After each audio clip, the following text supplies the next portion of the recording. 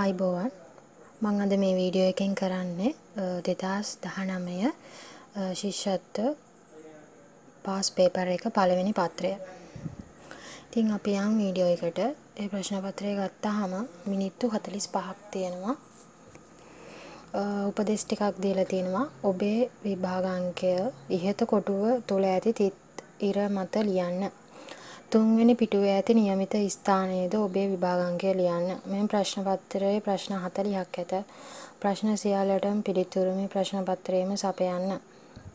සෑම ප්‍රශ්නයකටම පිළිතුරු තුන බැගින් දී ඇත. ඒවා අතුරින් එක් එක් ප්‍රශ්නයට අදාළ නිවැරදි පිළිතුරු තෝරාගෙන ඊට යටින් ඉරක් අඳින්න. කටු වැඩ කිරීම සඳහා කඩදාසියක් සපයනු ලැබේ. අංක 1 සහ 2 ප්‍රශ්නවල කොටුව තුළ ඇති කාණ්ඩයට ඇතුළත් කිරීමට වඩාත් ගැළපෙන රූපය තෝරන්න. අංක 1 අංක 1 ගත්තාම ඒකේ පළතුරු ටිකක් දීලා තියෙන්නේ. එතකොට ඒකට අදාළ ගැළපෙන පිළිතුර තමයි මේ තුන කියන පිළිතුර ගස්ලබු ගෙඩියක් තියෙන්නේ. පිළිතුර තුන. ඒකේ දෙවෙනි ප්‍රශ්නේ ගත්තාම ඒ රූපේ තියෙනවා තොප්පියක් තියෙනවා ඔරලෝසුවක් තියෙනවා කණ්ණාඩියක් තියෙනවා. ඒ ඔක්කොම පළඳින දේවල්. එතකොට මේකට ගොඩක්ම ගැලපෙන්නේ පිළිතුර දෙක මේ සපත්තුව කියන ඊළඟ ප්‍රශ්නේ අංක 3 සහ 4 ප්‍රශ්නවලදී ඇති රූප නිරීක්ෂණය කර පිළිතුරු සපයන්න. ඒ රූපයක් දීලා තියෙනවා B රූපය දීලා තියෙනවා. ඒකේ A හා B රූප දෙක අතර ඇති වෙනස්කම් ගණන අහන්නේ. වෙනස්කම් ගත්තාම මෙතන ඉරක් තියෙන එක. 1යි මෙතන සම්බන්ධ වෙලා නැති එක 2යි ඊට පස්සේ මේ ඉර කම්ප්ලීට් වෙලා නැති එක 3යි ඒකට උත්තරේ 3 ඊළඟ එක C හා D රූප දෙක අතර ඇති වෙනස්කම් ගණන. ඒකේ වෙනස්කම් ගත්තාම ඇටින 1යි මේක. මෙතන එක 2යි මේක 3යි 4යි. අපිට ඒකට උත්තරය ගන්න පුළුවන් උත්තරේ දෙක හතරකි. ඊළඟ එක පහත දැක්වෙන රටාව ඉදිරියට සම්පූර්ණ කිරීමේදී 6 වෙනි තැනට තැබිය යුතු කාඩ්පත කුමක්ද? ඒකේ රටාවකට එන්නේ පළවෙනි එකේ නැහැ ඊළඟ එකේ එකක් තියෙනවා ඊළඟ එකේ දෙකක් තියෙනවා. එතකොට මේ හතරවෙනි එකට එද්දී ඩොට් පළවෙනි එකේ තුනක් මේකට එද්දී හතරක් තියෙනවා. මේකට එද්දි පළවෙනි එකේ ඩොට් පහක් තියෙන්න ඕනේ. ඒ වුණාට පහක් තියෙන රූප දෙකක් තියෙනවනේ. එතකොට ඊළඟ රූපෙටත් එන්න ඕන ඩොට් සංඛ්‍යාව අපි හොයා ගන්න ඕනේ. එතකොට මේකේ එකක් තියෙනවා, මේකේ දෙකක් තියෙනවා, මේකේ තුනක් තියෙනවා. මේකට හතරක් එන්න ඕනේ, මේකට පහක් එන්න ඕනේ, මේකට හයක් එන්න ඕනේ. එතකොට පළවෙනි එකේ පහයි, දෙවෙනි එකේ හයයි. පිළිතුර දෙක. ඊළඟ ප්‍රශ්නේ පහත දී ඇති රූපවල ඉරටු කැබලි තුන බැගින් නැත. ඒවායේ මුළු දිග ඒ අයුරින්ම භාවිතා කර ත්‍රිකෝණයක් සැකසිය හැකි ඉරටු කැබලි ඇති රූපය කුමක්ද? ඒකේ පළවෙනි එකේ දීලා තියෙන දෙවෙනි එක තුන්වෙනි එක කියලා තමයි හිතෙන්නේ. ඒ වුණාට ඒකට උත්තරේ ගන්න ඕනේ එක මොකද දැන් තුන්වෙනි එක අපිට ගන්න බෑ ගොඩක් වෙලාවට අර ත්‍රිකෝණයක් විදිහටම පොඩක් ගන්න අමාරුයි. අර යට කෑල්ල දිග නිසා. ඒක නිසා අපිට පිළිතුර එක ගන්න පුළුවන් ඒ අයුරින්ම භාවිතා කර ත්‍රිකෝණයක් සැකසිය හැකි ඉරටු කැබලි ඇති රූපය තමයි 6ට 1.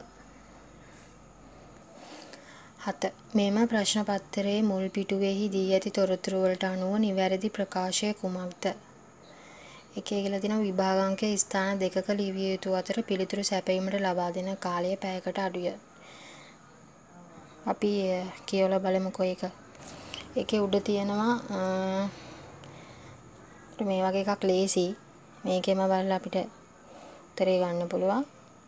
ඒකේ විභාගාංකය ලියන්න කියලා තියෙනවා එකක් මෙතන. ඊළඟ එකේදී තුන්වෙනි පිටුවේ ඇති නියමිත ස්ථාන දෙකක් විභාගාංකය දෙතැන් දෙකකට යනවා. ඒ වගේම ප්‍රශ්න 40යි මිනිත්තු 45යි මිනිත්තු 45 කියන්නේ පැයකට අඩු ප්‍රමාණයක්. ඒක නිසා අපිට උත්තරේ ගන්න පුළුවන් එක විභාගාංකයේ ස්ථාන දෙකක ලිවිය යුතු අතර පිළිතුරු සැපයීමට ලබා දෙන කාලය පැයකට අඩුය. ඊළඟ එක පොතක පිටු දෙකක අකුරු යම් ආකාරයකට යොදා ඇති අයුරු රූපයේ දැක්වේ. එය හඳුනාගෙන ඒ අනුවම අකුරු යොදා ඇති පිටු දැක්වෙන රූපය තෝරන්න. මේක ගත්තොත් ඒ කියන්නේ කණ්ණාඩියක අපි අර ප්‍රතිබිම්බ වගේ රූපේ තෝරන්න ඕනේ. මේක ගන්න බෑ ඉසෙඩ් අකුර අනිත් පැත්තට ගිහලා තිබුණා ගන්න තිබ්බා. ඒක ගන්න බෑ. දෙවෙනි එකේ ගන්න බෑ B අකුර නිසා. එතකොට අපිට උත්තරේ ගන්න පුළුවන් 3 8ට 3 උත්තරේ. ඊළඟ ප්‍රශ්නේ පහත කවිය කියවා අංක 9 සහ 10 ප්‍රශ්න වලට පිළිතුරු සපයන්න. පොත් කියවන සෑම දෙනා නව දැනුමෙන් පිබිදෙනා අලුත් අලුත් දේ තනා ලොව පැබලෙයි තරුමෙනා.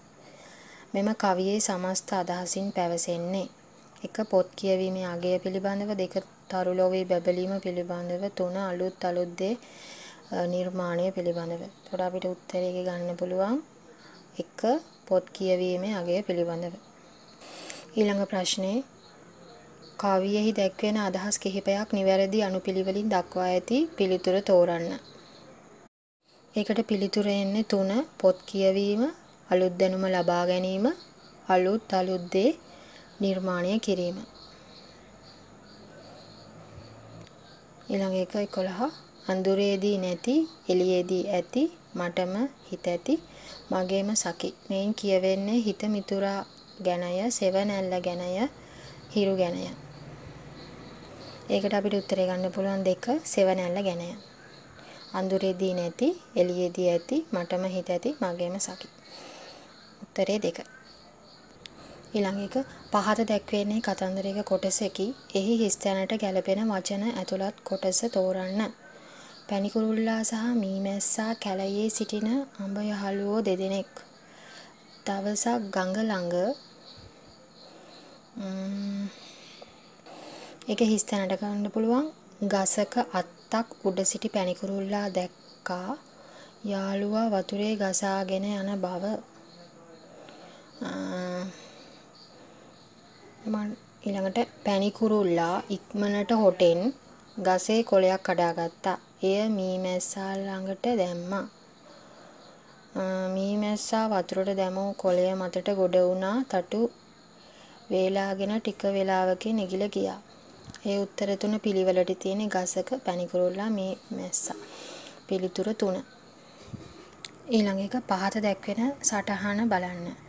ඒකේ පළවෙනි තීරුව දෙවෙනි තීරුව තුන්වන තීරය. පළවෙනි පේලිය දෙවන පේලිය තුන්වන පේලිය කියලා අකුරු ටිකක් දීලා තියෙනවා.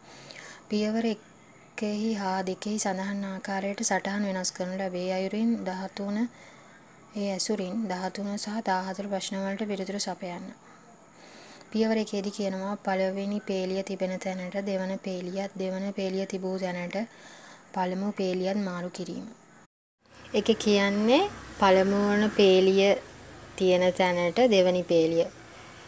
එතකොට ඒකේ මේකනේ රූපේ. එතකොට පළවෙනි පේලිය FD FED කියන එක මුලට එනවා ABC කියන එක යටට යනවා. ඊළඟ එක එතකොට මේක GHI කියන එක එහෙම්මමයි අපි එහෙම්ම දාගන්න. දෙවනි පියවරේදී බලන්න. දෙවන තීරය තිබෙන තැනට තුන්වන තීරයත් ආ ඒකේ කතා කරන්නේ තීරයක් ගැන. දෙවන තීරය තිබෙන තැනට තුන්වෙනි තීරයක් තුන්වෙනි තීරය තිබූ තැනට දෙවෙනි තීරයත් මාරු කිරීම. එතකොට මේකේ දෙවෙනි තීරුව එනවා තුන්වෙනි තීරුවට. ඒක ලියාගත්තා. ඊට පස්සේ තුන්වෙනි තීරුව එනවා දෙවෙනි තීරුවට. එතකොට FAG එහෙමමයි පළවෙනි තීරයක් ගැන කියන්නේ 2යි 3යි තමයි මාරු වෙන්නේ. ඊට පස්සේ අපෙන් අහලා තියෙනවා වෙනස් කිරීම වලින් පසු රූපයේ මැද කොටුවේ පිහිටන අකුර කුමක්ද? එතකොට මැද තියෙන්නේ C අකුර පිළිතුර දෙක C. ඊළඟ එක මුල් රූපයේ I අකුර තිබූ තැනට වෙනස් කිරීම වලින් පසු පැමිණි අකුරු කුමක්ද? එතකොට I අකුර තියෙන්නේ මෙතන I අකුර තිබ්බේ මෙතන. ඊපස්සේ H අකුර එනවා මෙතනට. එතකොට අපිට උත්තරේ ගන්න පුළුවන් H අකුර. උත්තරේ 1 H අකුර. ඊළඟ එක රූපයේ හිස් තැනට ගැලපෙන කොටස තෝරන්න. එතකොට මේකේ මෙතන ඝනව තියෙනවා. මෙතන හීනි ඉරක් තියෙන. එතකොට මේක මේ පැත්ත හැරෙවම ඝන. ඒතර මේකේ උත්තරේ ඉන්නේ 1. ඉතින් අදට මම මෙච්චරයි ප්‍රශ්න සාකච්ඡා කරන්නේ. තව වීඩියෝ එකකින් තව ප්‍රශ්න ටික සාකච්ඡා කරමු. ඉතින් channel එක subscribe කරලා නැත්නම් subscribe කරලා එකතු වෙන්න. ගිහින් එන්නම් ඔයාලට සුබ දවසක්.